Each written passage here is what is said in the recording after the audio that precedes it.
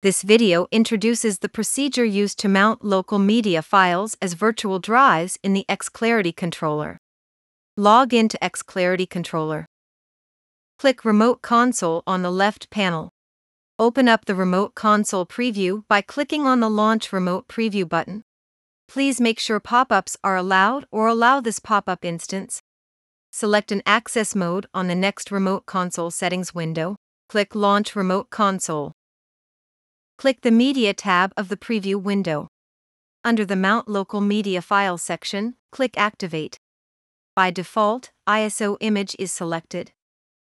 If you have a network drive mapped, then this can also be used to select the media. Click the Browse button to choose a local media file. Locate the directory, select the file, and click Open. Click Mount All Local Media. Scroll down and find the Select One Virtual Media to Boot section.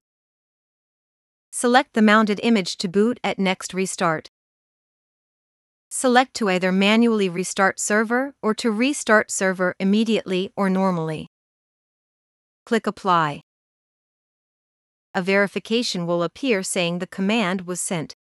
Click X to close the window. Click X to close the Mount Virtual Media session. With the selected commands above, manually restart the server and the server will boot into the selected media.